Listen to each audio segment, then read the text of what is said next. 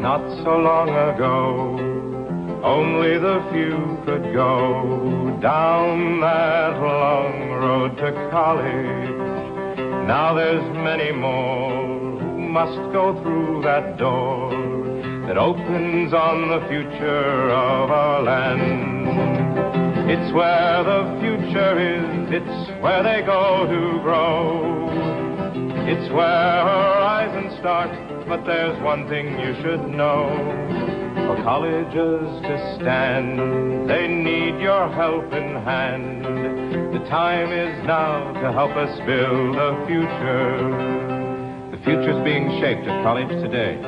But tuition pays only one third the cost of education in college. Help with the other two thirds. Join the future.